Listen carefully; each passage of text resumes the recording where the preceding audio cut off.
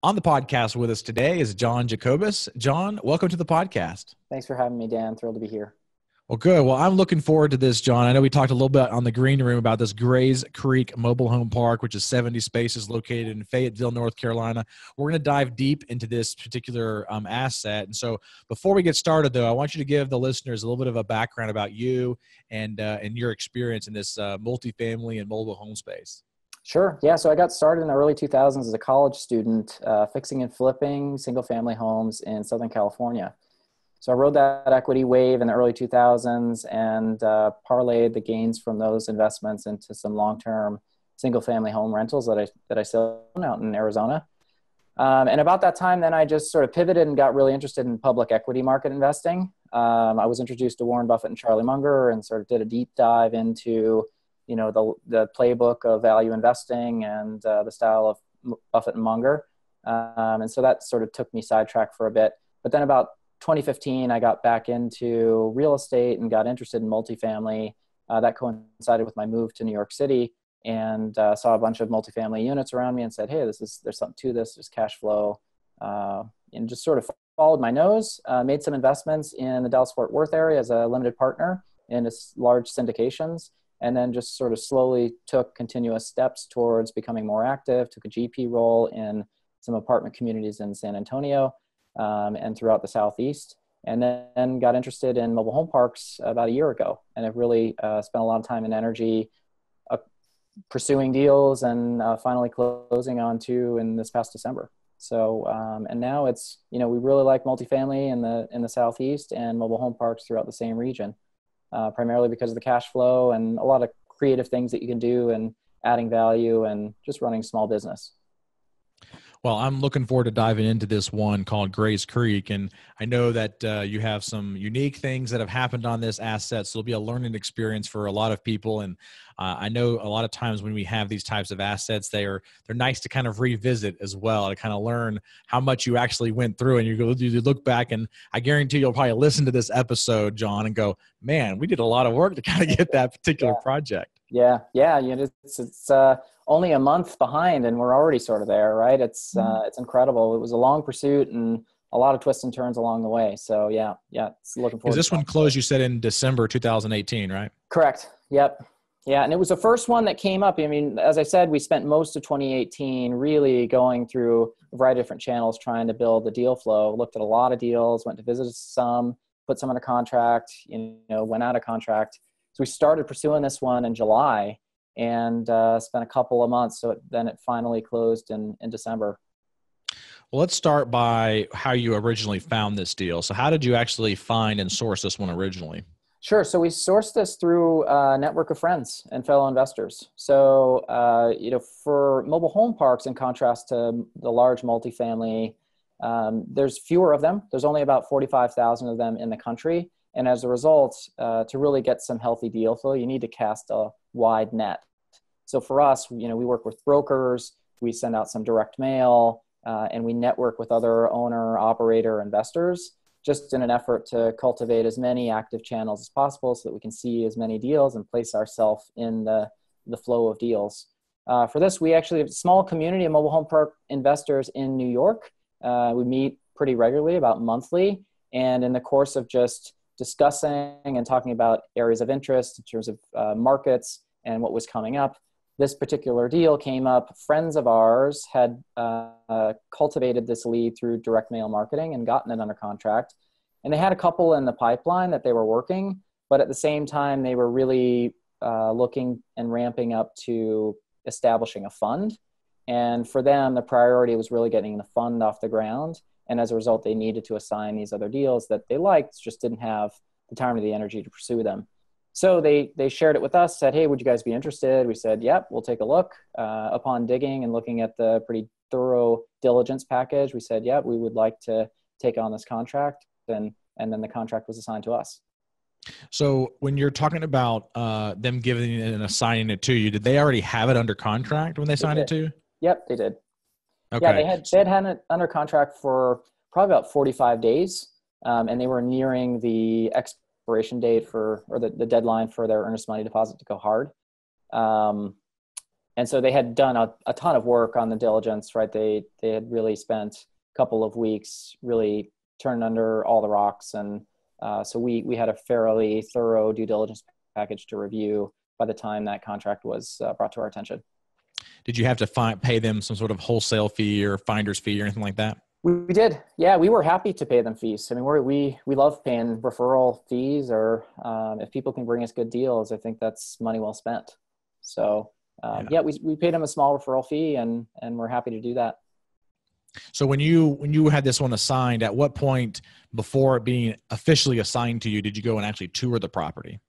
So we didn't tour it until after what was assigned to us. Uh, probably two or three weeks after we got the contract assignment, uh, we showed up boots on the ground there in Fayetteville. So is that is that typical, or do you guys normally see see it beforehand? You know, it depends. I think we would like to, if not us, then have a you know person on the team or someone we know and trust to go and check it out. But you know, for us, we we thought it was a good deal. We didn't have the ability to get down there in short order, given that most of us are in New York and this is a couple hundred miles away. And so we did as much as we could on Google Street View and talking to people to just sort of do the sniff test. We had the benefit of a very thorough due diligence package, and the friends who were assigning us the contract, they had been down there and gave us the play by play. They had some iPhone videos that they were able to share. So we felt as if we had a pretty good sense of whether this was worth uh, moving forward with and at the end of the day if we you know after seeing on site what the property looked like post putting it under contract we always had the opportunity to back out. So um, we were comfortable with getting it under contract without having uh, boots on the ground so there's a couple questions that are, are, I'm just kind of coming up with in my head here as, as we're going through this. I, I'm not as experienced in the mobile home space, so there might be some dumb questions that I might ask, but I'm sure other people might be thinking them at the same time. Sure. So on, on obviously on some of the mobile home parks, you are actually buying the actual mobile homes in addition to the spaces. And this one, you only bought the spaces. So in a, in a typical multifamily space, when you go and tour the property, if you will, you're going unit by unit by unit. But here, you're not buying the units, you're just buying the spaces. So, what do you actually do when you're on site and when you do that quote unquote tour? Yeah, sure. So, a couple of things. So, one is the market, right? Just getting a sense of the market. We're able to do a lot of diligence on the market, the health of the market offsite. Uh, but it's always good to go and drive the property uh, to see it at various points in the day and also points in time during the week. So for us, we were there on a Thursday afternoon. Uh, we were there on a Friday and a Saturday, and we also showed up on Saturday night because I mean, there's some you know lore, mobile home park lore around what goes off on Saturday nights, and we wanted to see if that was you know party time or it was just crickets. So we uh, interesting story on that front is as we were driving through, you know, we looked awfully suspicious because we had our lights on. There were a couple of guys in a truck, and we were just creeping around the property and you know, we were probably 15 minutes in, just looking around and going slowly when we found, uh, we just sort of realized that there was someone following us throughout the park. And it got to a point where they started flashing their brights, and, you know, we thought, oh, okay, we're just going slow and we need to get over here. Well, we turned, you know, we, we veered off to the side of the road and waved uh, the car forward, and they wouldn't go. They just kept, you know, close distance behind us, kept flashing the brights, and then started to rev the engine and then we started putting things together and you know realized this person's running us out of the park. I mean this is the local sheriff right that was uh, keeping an eye on what's going on in the park. And at the time you know we were kind of freaked out because it was about midnight and you know we didn't know where we were. We didn't want to upset anyone. Uh, but looking back on it we thought hey that's actually that's actually kind of nice. You know i'd like to live in a community where there's sort of the unofficial uh, police force that's keeping an eye on strangers and running them out if there's some suspicious activity going on. So, uh, you know, getting a sense for that kind of stuff, the dynamic of what's going on in the park, is one of the things that we look for uh, by just spending time there and seeing what it's like at various points in time during the week and during the day. Uh, the other thing besides market diligence is infrastructure. So checking out, you know, for this for Grays Creek, it's on a private well and uh, has a septic system.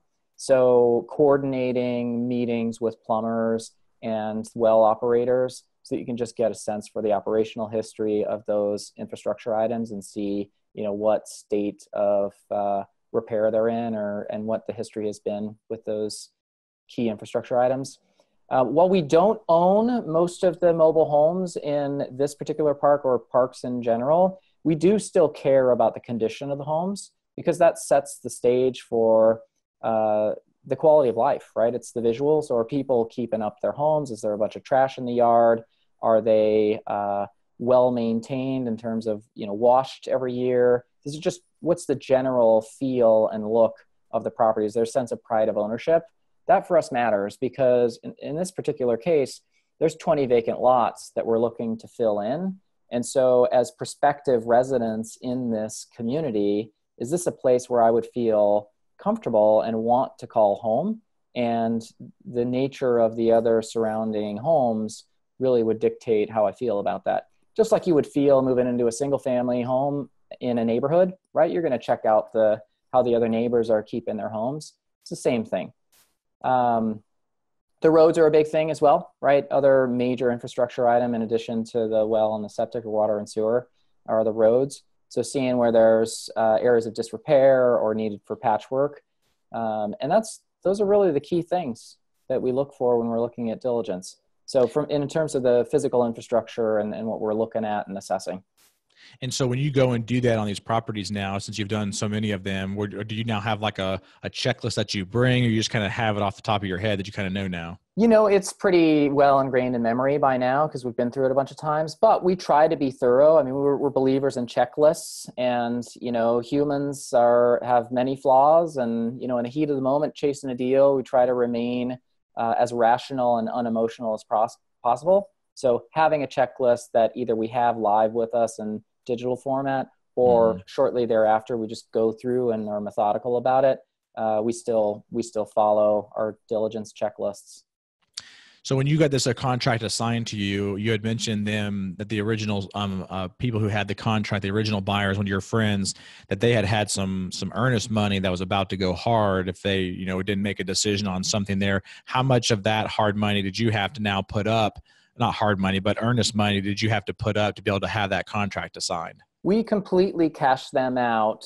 uh, on their earnest money. So in addition to, so we at the at the time that we signed the contract, or the, the contract was assigned to us, the only cash out of hand for us was the cash out of the earnest money. We agreed to pay them assignment fee upon successful closing, but cash out of hand was that uh, earnest money. Now, it didn't immediately go hard. As part of the contract assignment, we negotiated to uh, have an extension on that earnest money deadline because we were new to the deal and we wanted at least two weeks to be able to do the sniff test and really check it out for ourselves.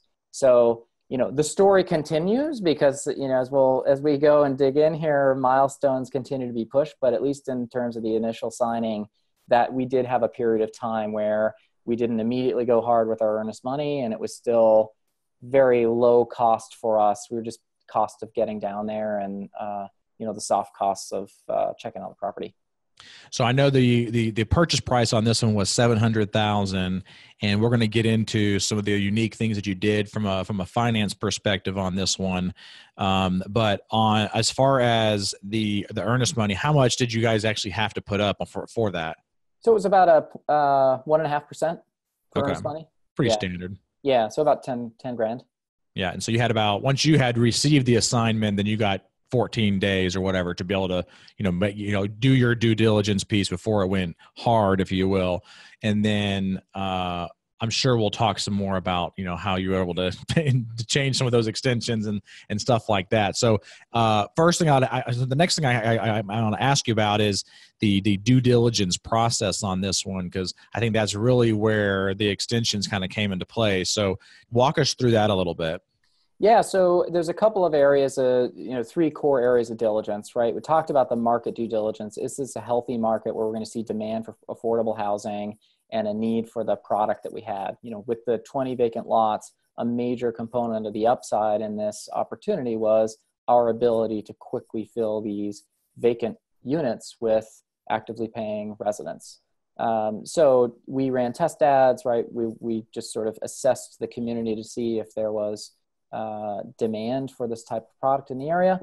Uh, so that that was the extent of the the market due diligence. We also had financial due diligence where we were looking at the property records. So they were uh, pretty well kept books, and they had records going back about four years of pretty clean profit and loss, tax statements, and rent rolls. So we are able to dig through those. We even uh, traced those back to the bank records, and most of that all tied out pretty cleanly. Really rare in the mobile home park space, really in that zone too, because uh, this is a world. In contrast, one of our other properties, we had a handwritten scratch pad full of rent collection records over you know the past five years, and that was the extent of the financials that we had to to look at. So uh, we got lucky in the sense that the financials were very solid and uh, really made that piece quick. Where we ran into challenges and where really the, the story unfolds is on the physical due diligence. So looking at the infrastructure of the park and really the core part of the asset that we own. Uh, upon digging into that, we found very quickly that the water well had several outstanding violations over a period of a couple of quarters and remained, you know, in uh, a state that was not supported by the Department of Environmental Quality. And uh, so that was a red flag for us that then led to additional negotiation and discussion around what we were going to do. So one thing you mentioned is is running test ads when you were doing your your marketability of it. Can you can you tell us what you do there? Sure. Yeah. So for us, we use Craigslist to just put up a generic ad. So for us, we had uh, mobile home spaces to rent. So we put up a, just a very simple ad saying mobile home spaces to rent in Southeast Fayetteville. You know, for 300 bucks a month, uh, pet friendly. Give us a call. And so it's very generic, but targeted into the region. And so we're trying to accomplish a couple of things here. One is um, you know, assess whether or not there's interest in our area of the metro. And then two, at the market rate that we anticipate renting our units out to. So market rate was, you know, much higher. We thought much higher than the current rental rate on the property. And so to actually prove that, we wanted to gauge interest in the market at that, you know, the pro forma rent. So we ran a test ad on Craigslist and you know you wait. So we set up uh, we use some software that allows us to generate a fake number that's local. So we use grasshopper. I put the grasshopper number on the test ad and just waited for phone calls to come in.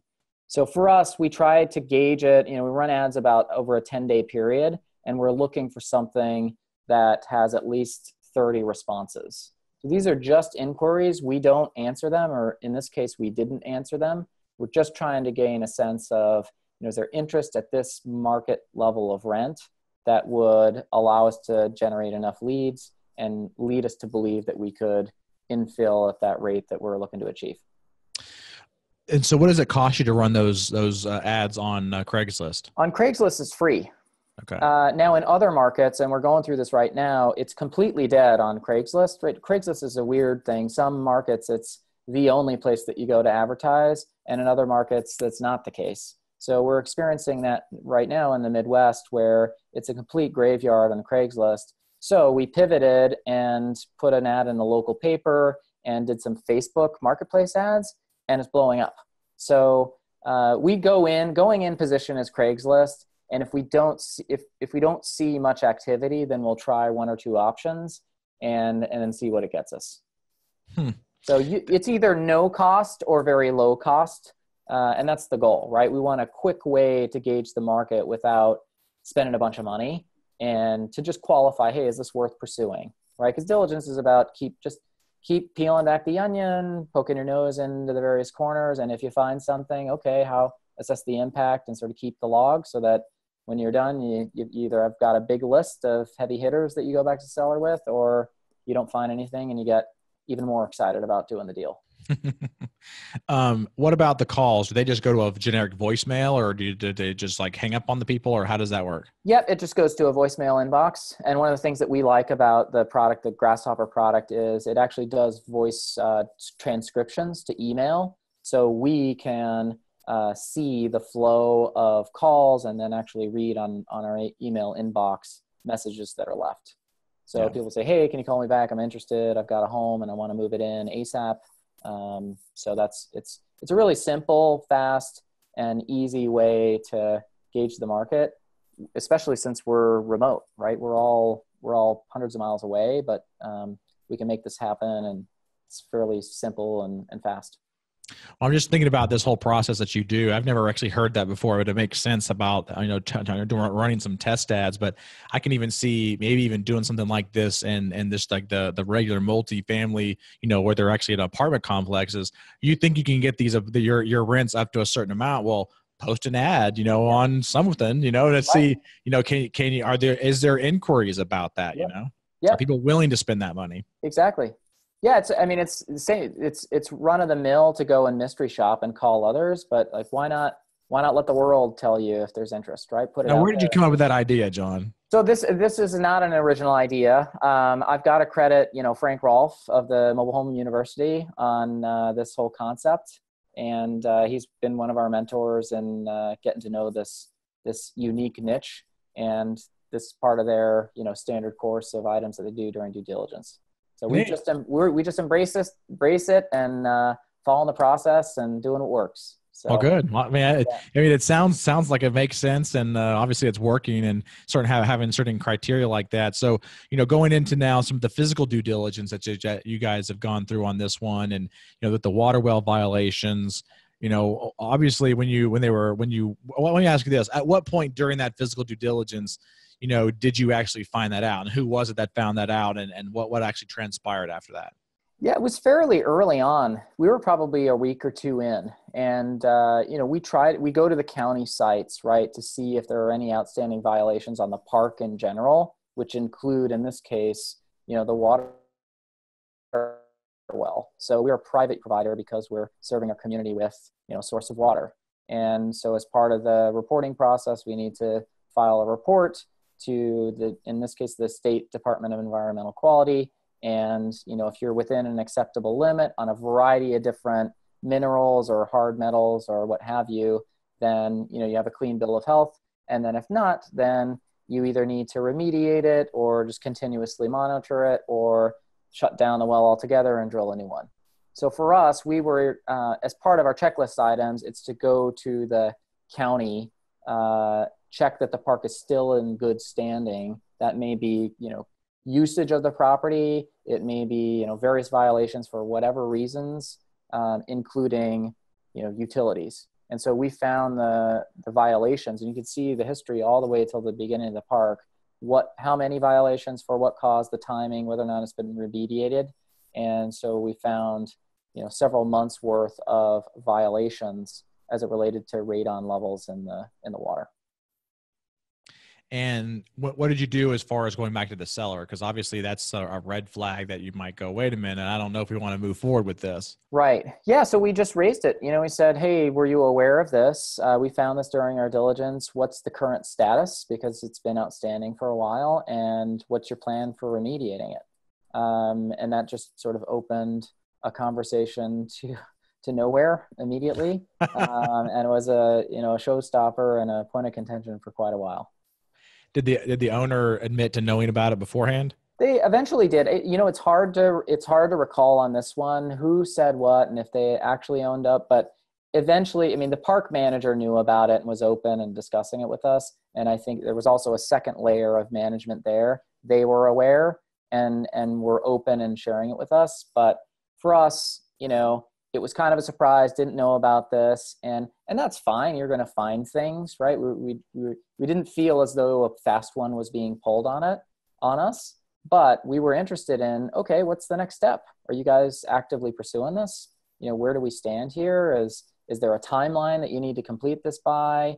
You know have you really upset the county and they're really knocking on your door or is this just sort of a mild violation that you just can get around to fixing when you get around to it Mm-hmm. Um, the frustrating part with us was we weren't really able to get anywhere with any of our questions because the nature of the seller was um, the seller has a very large business that they run that consumes really most of their life, and priorities one through seven for them are running and building this business.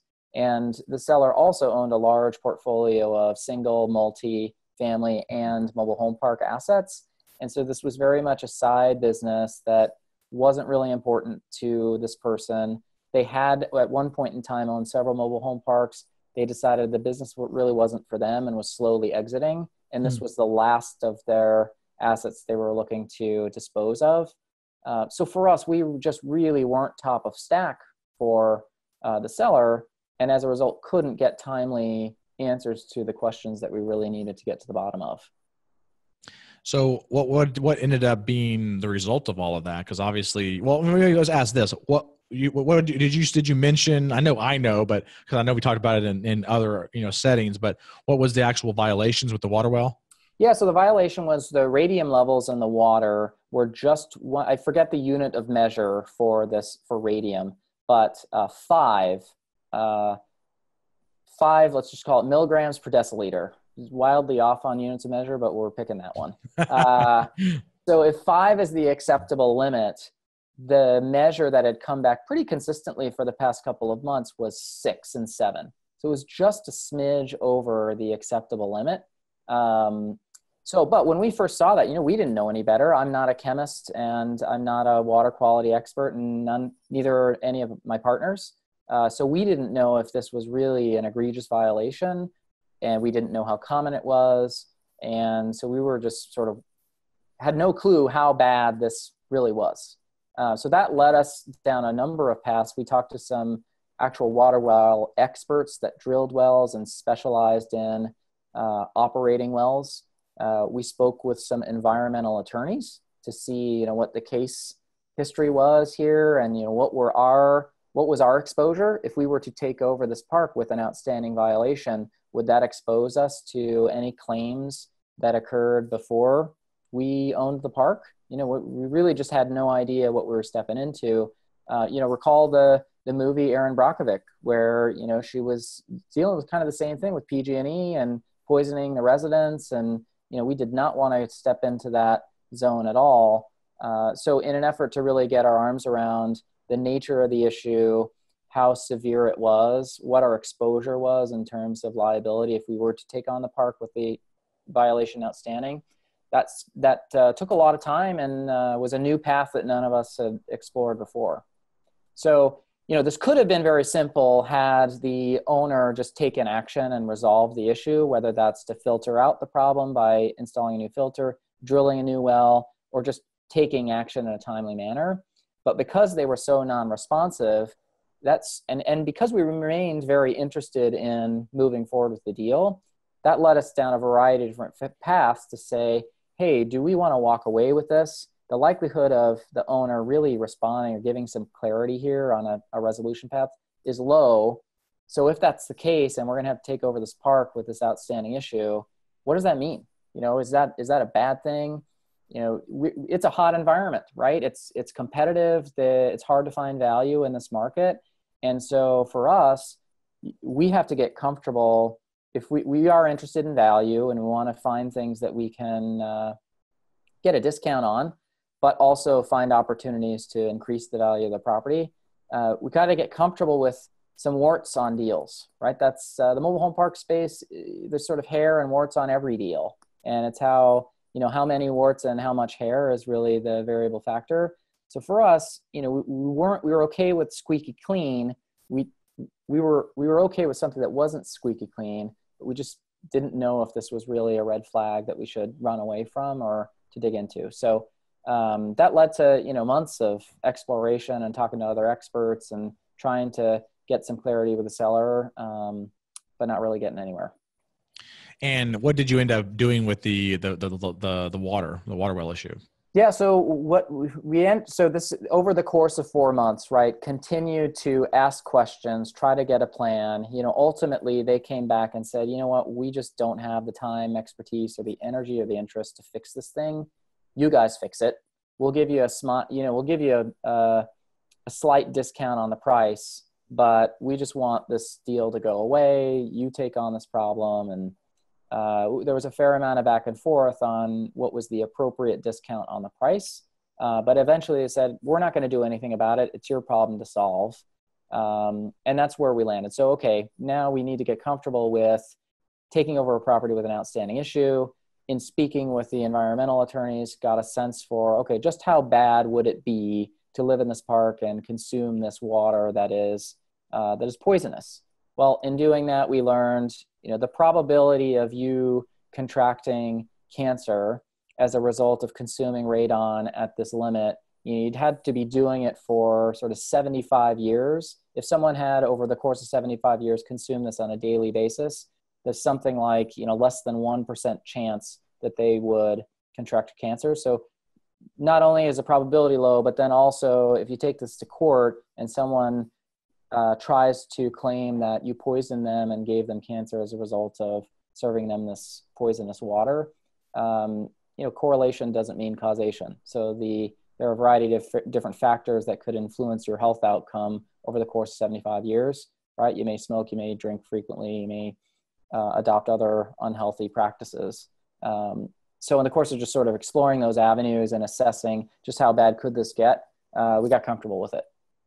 So with the appropriate discount, and we were also able to get a warranty on the uh, the water well. So eight for eight months past closing, uh, if should anything go wrong with the well that would you know further plummet us into a, a deteriorating state with the well that would be the seller's uh, problem to deal with so between the significant discount uh, between the seller financing and this warranty period those were ultimately the factors that got us to a comfort level with with moving forward with this outstanding issue so now you know one one month into the project uh, we are actively working with contract plumbing contractors to explore a new well site and to actually drill a new well. Okay. And so what was the original purchase price? I believe it was 730,000. Uh, we got them down to 70, 700,000. Uh, and originally it was also bank financing and the banks that were willing to lend on this uh, were at about 70% loan to value. Um, so, you know, it's pretty difficult. I mean, bank financing is hard, hard to go through, right? It's a difficult process they yeah. still weren't super comfortable about the outstanding water well. Uh, so we were able to go from 730 and bank financing and 70% LTV to 700 with an eight month warranty on the well and seller financing five, five years interest only uh, at 80% LTV. So, but you know, that was a, over the course of six months, right? From July all the way until December, um, through a course of really frustrating encounters and discussions with them where we either not getting a response, uh, getting nowhere, and just ultimately forcing his feet to the fire to to get us the terms that we needed. Mm-hmm. So let's talk about the seller financing here a little bit too, because I know we've kind of been diving into the the physical due diligence and stuff. What what uh, walk us through the seller financing that you did on this? I know you kind of briefly mentioned it there, but kind of walk us through that a little bit more. Sure. Yeah. So so our our um, you know we wanted to keep debt service low because there was a period of time of uncertainty where one we we had vacant lots that we needed to fill, so we wanted a cushion to be able to boost the value of the property and the income. We needed sort of a, a safety period where we could do that. So that was important to us. We really had uh, limited capital that we we had to deploy here, so we did not syndicate this deal. 700 for us uh, to go through a full syndication, you know, would damage the economics of the deal. So it really didn't make sense that way. And this was our first mobile home park, and we wanted to prove out the model and build our credibility before we brought outside capital. Uh, so this, that's what led us to just do a joint venture on this. Uh, but we didn't have a lot of capital to deploy to the deal, so we're trying to go in light with the capital and have a high LTV while still, you know, having a margin of safety and adequate debt service coverage. Um, so where we got them to was uh, 80% loan to value. Uh, interesting on the actual down payment due at closing, we were able to phase it in. So we had about half due at closing on the 20% gap uh, that we needed to bring to the table. And then after the first month uh, of owning the park, after which we were able to collect the first month of rent, which is a substantial amount of income, then we could pay the remaining half of the down payment after the first month of, of ownership. So that was a creative thing that we were able to do and really helped us out to close the deal. And then uh, we had five year balloon payment, right? So term five years, uh, interest only uh, for a fixed interest rate over the life of the loan. That's a phenomenal deal from a seller financing standpoint. For sure. Yeah, yeah, we were we were thrilled with what we were able to get there. So when you go back to the the original deal or the original you know pop uh, like, like, traditional you know lending on this one or a lender that you're trying to work out with this, were they were they still kind of having issues as well with the with the well? Like were they still wanting to lend on without that being rectified? Not really. No, yeah. we never got a firm commitment, and that was I mean that was leverage for us, right? We were able to go to the seller and say, "Look, we can't finance this deal with the bank. We're not getting a firm commitment. They're uneasy about the issue with the well. We either need you to fix it, in which case we can get some traditional financing, or you need to entertain, you know, a seller carry if you don't want to fix the well." Mm-hmm. So, um, while it was frustrating for us, and we were really looking for commitments from banks, uh, it actually ended up being to our benefit because we could use that as a lever to push the seller in a direction that worked better for us. At what point during this entire process did you guys decide that you might want to assign it to somebody else as well? You know, it was probably three months in um, where, so we had known about the water issue, had tried to, you know, work with the seller, complete, uh, you know, non-starter, non-responsive, you know take two weeks to just get a simple response yes or no to fairly basic questions. Um, and at that point we had to make a call as a partnership group of wh- whether we were comfortable moving forward as the property stood or not which meant you know do we want to take over this property with a faulty well or no? Uh, and about half of the partners at the time said you know we're just not comfortable. Um, we're only okay if we can get an indemnity purity period or if we can get this well uh, fixed before we take it over. So at that point, you know, we just half of our capital walked away and we said, well, we can't really take this deal down anymore. So we then said, okay, the best thing to do is to pursue uh, another assignment. So at that point, this was probably October by this point, um, we went and just heavily shopped the deal.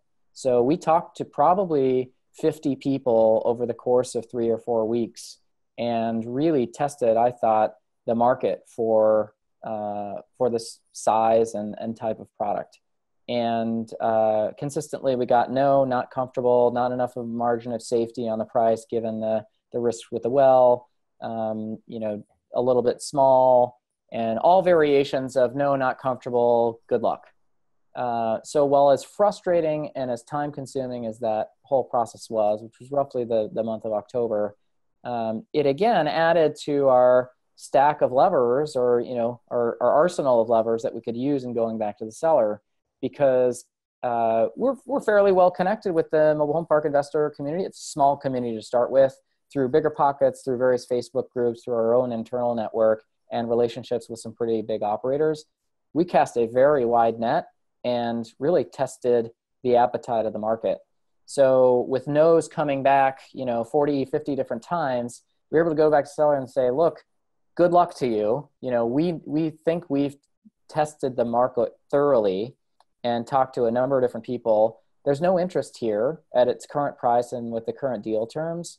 We still like this deal and have put in the time and energy. We're the likeliest closer here. So work with us and come to terms so that you can get this park off your hands. You can go tend to your business and grow your, you know, tend to your primary uh, priorities, and we can take this park off your hands and and call it a deal. Mm-hmm. Yeah. I think that's that's a, that's a smart way to do. It. I think the biggest thing that turned people away was the well issue and right. unknowns of that and the liability, the possible liability of that. So sure. um, it definitely allowed you to be able to get into with some some good terms though. So with good terms and uh, and also be able to you know make that community better by putting in a different well too. Right. Yeah. So as far as the the the the, the, the deal structure and setup with the investors, obviously you didn't syndicate it, so it's just with your partners. How many partners are on this project? So there's five total partners on the project. Uh, we each brought however much capital we were comfortable bringing to the table, and we carved up the equity proportionate to the amount of money that we brought to the partnership. So for okay. us, we it's really not you know we're looking to do this simple. All of us you know want to get hands-on experience, run in a park, and uh, you know checking the box on on first deal and and uh, binding together to do things. Look, it's also a lot of work too. So we needed multiple people to be able to uh, be hands on to run various aspects of the park. So, you know, we've got on site management there that is doing the day to day, but we need someone to oversee that person. We've got a fair amount of marketing that we're doing to drive leads to eventually bring new residents in to fill in our 20 uh, our 20 vacant lots. We have this this water issue, right? Its own construction project that we need someone to sort of full time PM on. So there's a variety of roles here that you know we all just needed to bind together and actively take part on because uh, we all have day jobs and this is our side gig nights and weekends And uh, so binding together, bringing our capital, and uh, each carving out a sleeve that we that we own and drive has been uh, something that's worked for us. So there's how do you guys determine how much? I know you said you base it based on the amount of equity that you should bring to the table, but is it what's the the, the work might be imbalanced based on the equity coming in? So how does that work? Yeah, it, it um, it's just sort of uh, an agreement amongst us, right? There's peaks and valleys. Uh, right now, you know, in, in the, in the early stages, uh, I probably took a lion's share of the work, but um, it's become a little bit more steady state. Whereas some of my partners are ramping up, and um, for us, it's just we that was we were very clear going into this what we uh, setting expectations. Right? There's no way to always strike fairness in terms of sharing the workload. There's going to be times when each of us is going to feel as though we're carrying the lion's share and the other is not doing much. And you know what? I may own 5% of the deal and be doing 95% of the work for that period of time, and with the flip being the other way. And that's okay. So we were very transparent going in. Hey, we're looking not necessarily to hit a home run investment returns wise with this deal, just looking to get experience. You know, it's got to be a good deal. Our downside needs to be protected, but investment returns, you know, not being numero uno in terms of priorities. The other hey, we're just going to need to work together and understand that it's puts and takes on who's bearing the workload. We did do some work up front to really carve out and be thoughtful, I think, about how much should we size the roles? You know, what really makes sense for one person to do? Does that need to be separated into two pieces? Uh, does it even make sense to break certain roles in twice? Maybe it just naturally fits best. So we did some deep thinking up front, really, about how this would work and then as we formulated the partnership and agreed to work together, we're just very clear about this is going to be hard. There's a lot of us. I mean, five partners is is is a large group for a fairly fairly small deal such as this, and so it was uh, important. I think has served us well as we're into this that we were just clear about it's going to be hard to get this done. Let's just, in the spirit of doing a project and gaining experience let's acknowledge that there's going to be some rocky roads here and you know unfair distribution of work at times but that's okay we you know for the the grander the spirit of doing this is to gain experience and to move forward. And so uh, we attracted partners that were into that. So as far as the value add that's that's going to be a, where you're going to be able to have that potential upside on this particular asset uh, obviously, you mentioned the the 20 vacant lots or whatever that you're going to do some additional marketing and, and, obviously fill those vacant lots, which will again increase that NOI to be able to increase the the value of the property and increase the returns even during the hold period. What are some other different things that you have done that, that you're planning to do on this asset to be able to you know push the NOI higher? Sure. So uh, the lot rents are below market. We think we've got a you know about fifty dollars worth of room between where we currently are and where the market is in a rapidly growing market. So naturally, the rents in the area are escalating, um, and we've got a fairly sizable initial gap to close. So that's a big piece of it. Uh, we have a an opportunity in terms of management costs that we can shave off. Uh, I mentioned early on in the call that there are a couple of layers of management on this property. So this was one small piece of a very large portfolio that the owner uh, owned, and they weren't actively involved in managing it. So they actually had a large property management firm that oversaw all of their assets, in addition to having a full-time park manager that oversees the day-to-day. So in looking at the financials, you know, we saw that there were some excessive management costs there that we plan to ramp down over time, and that will fall straight to the bottom line and boost NOI. Uh, in addition to that, we have some opportunity on ancillary income sources around storage or um, you know pet fees and and late fees, just sort of standard stuff that you'd find in the multifamily space that we intend to apply in our park. And then the last is billing back some of uh, the services that are covered for the residents, so landscaping and uh, trash pickup. So when when you're talking about the leasing on uh, able to increase the rents, obviously you you in this particular industry you have a painful disconnect, if you will, and this is you know really no, no, no pun intended, if you will, because you're disconnecting the home, obviously. Um, but uh, you know you have a painful disconnect, and so you know to be able to tell a tell a tenant that or a resident that's currently on the on the park that you know you know after your lease is up, you know, I'm assuming these are typical still 12 yearly, 12, 12 month leases. So month to month. Um, so always month to month. Yeah. So it, it, depends, right? You'll see, you'll see it um, span the gamut. Uh, the leases that we received during diligence were about 12 month leases, but they had since expired. There were a handful that were still under the lease period that were just about approaching the end. And so once that lease is uh, expired, by default it goes into a month to month lease. And so on day one for us we actually prefer the month to month because it gives us flexibility to boost you know the rental rates on a on a monthly yeah. basis. Um, and to counter so so so then you know natural reaction would be okay well that's not so smart because then you don't have a lockdown on your residents what's the incentive for them to stick around if they can just leave? Well uh, one of the great things about the mobile home park business is while it's named, you know, mobile homes, uh, they aren't quite so mobile because it's awfully costly to pick up and move those homes. And the demographic of most of the residents, at least in the communities that we focus on, they don't have, you know, three to five thousand dollars sitting around to pick up and move their home to another park that has favorable rents.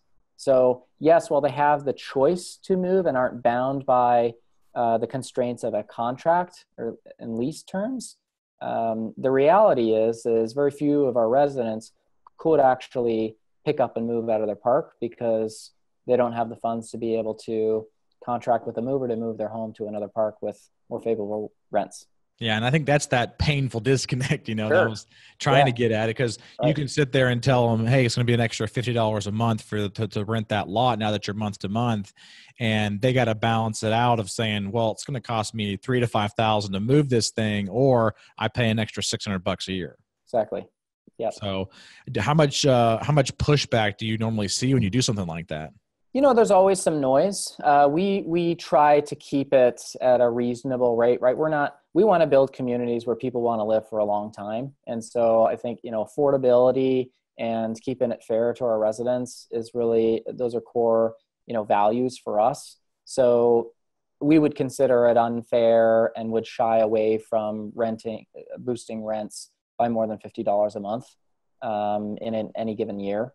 So well there's you know there's some noise always no one likes to see their rent go up we try to do it in increments that are palatable and would uh, naturally sort of follow along wage growth. Have you ever you know made try to do a plan where you would you know try to get them back on a on a longer term lease by saying oh it's going to be a $50 increase or if you sign a 12 month or 24 or 36 they can get a better rate just to keep them on there or or have you tried something like that before? We have not with existing residents but for new residents. So move-in fees you know sometimes we'll just cover the cost of the move-in. So hey move into our park and we'll cover the cost because we just want you in there. Because we know once you're in the, the, likelihood of you moving out is pretty low. Um, or we'll try things like you know free free lot rent for the first six months to a year right? So for the for the new residents, we're much more uh, flexible and interested in providing those types of incentives. Mm-hmm. But for the existing residents, I mean, it's really just not in our interest to provide any other incentives because we know naturally they're going to be inclined to stay there mm-hmm. um, because it's costly to move their their home out of the park. So when you have new residents that are coming in and you're giving them that incentive to move them into the park, is that you eating that three to six thousand, or is that? And do you guys have like contracts with local local you know mobile home movers that you know give you better rates or something? Right, we do. Yeah. So yes, it is us eating the cost. That's just you know cost of doing business. Um, and yeah, we try to negotiate rates with movers, and you know in our case we have 20 move-ins that we're going to want to do over a short period of time. So finding you know a contractor that we can work with consistently and who's reliable and we can give them repeat business. I mean, 20 lots is a lot of move-ins, right? That mm-hmm. can translate into real dollars for a contract. So that gives us some leverage in negotiating with uh, a volume discount with local movers.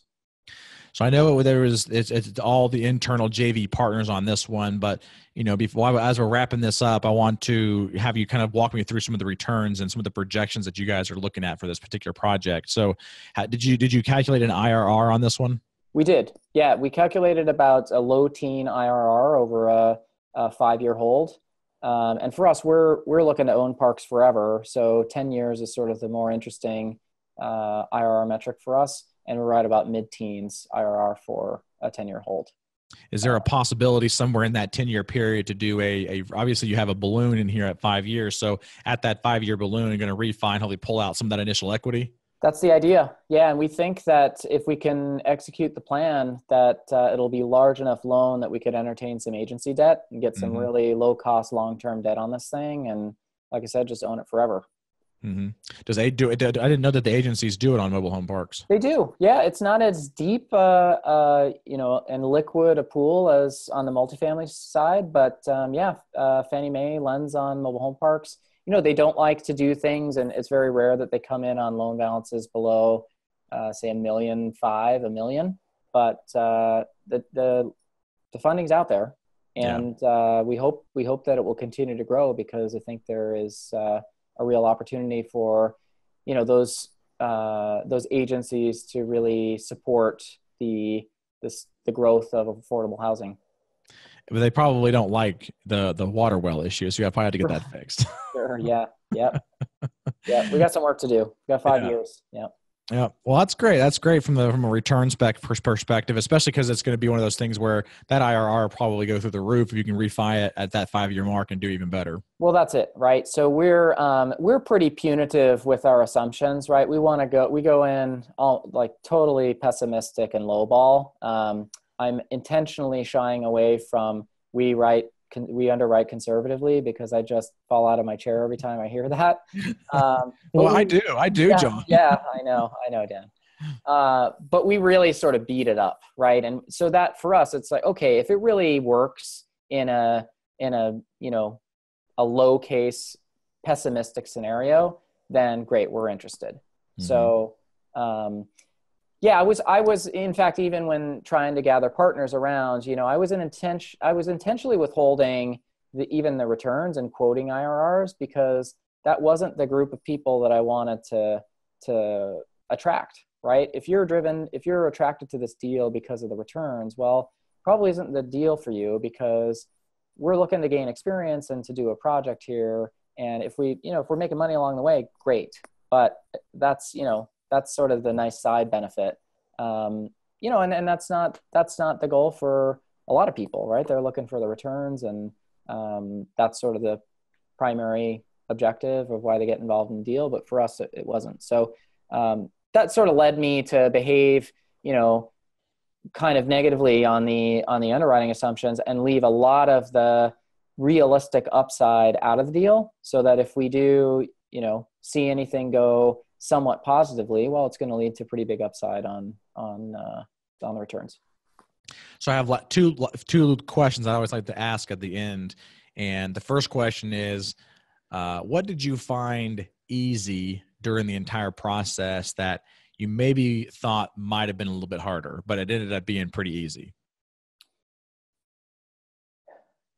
So I, I mean, I'll talk out of both sides of my mouth on this one. Uh, so apologies in advance, but you know, finding finding the partners to work with, um, I thought was going to be very difficult. Right? We had sort of a major challenge in front of us, uh, trying to get enough capital to take the deal down and get enough people who were like-minded enough and could actually collaborate well together, so that we wouldn't be at each other's throats and just having another stressor in our lives uh, I thought was going to be a real challenge, and that actually was kind of uh, pessimistic in my outlook for that happening.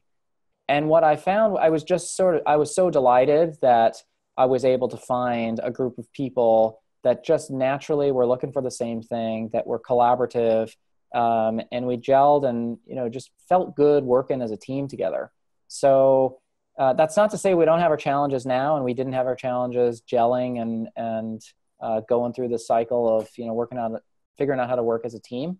But uh, going in, if you asked me, I probably would have said there's no way that we're going to find a team with as many people that we needed and that would work as collaboratively together as we needed them to throughout a pretty difficult period.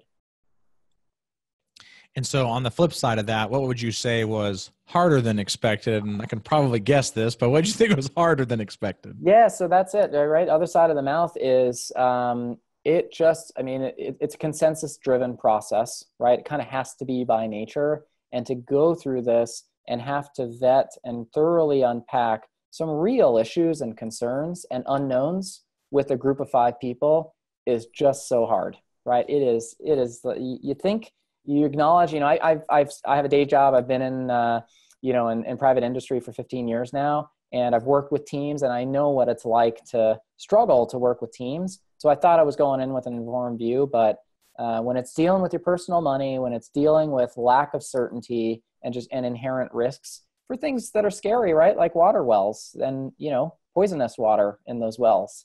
Um, just to to go through that and not have the flexibility and the nimbleness that you're accustomed to working alone um, was just a, a, real challenge. So, um, so yeah, so that's the contrasting side of it. Both sides of it, it's good and bad from the partner's perspective, and easier yeah. and harder and stuff like that. Yeah, yeah. Well, John, I really appreciate you taking some time out of your schedule to be with us and sharing us this story about Gray's Gray's Creek here, and uh, looking forward to kind of following you and seeing more deals that you're closing. I know this is only one of two that you closed last year, so maybe we can get you back in here to talk about that other deal as well. Love to, yeah, love to. That'd be I'd enjoy that. Yeah, well, and you can tell that, that we go really deep in these deals, so it's kind of hard to do two in one time. Sure, but I like to yeah. get really, really granular on some of these projects. Yeah, it's been fun, Dan. I appreciate you having me on, and uh, really had a lot of fun here. Well, tell the listeners how they can reach out to you if they have further questions about this particular project or maybe just mobile home park investing in general or maybe even possibly joining you on a future project. Yeah, sure. So I think the best way to reach out to me is uh, via email. And uh, I, I, can give you my email now. Jjacobus at lonejunipercapital.com. Uh, and we also have a website that is lonejunipercapital.com. Uh, happy to provide those in the show notes and uh, really welcome conversations um, I love talking to other owner, investor, operators in the mobile homes park space. We think it's a great area to be in and uh, just welcome any conversations, uh, whether those are interested or looking to new, learn uh, more about the industry. All right. Well, yeah, we'll definitely make sure we have those on the show notes. And once again, thank you so much, John. Appreciate it. And looking forward to having you back on another episode. Thanks again, Dan.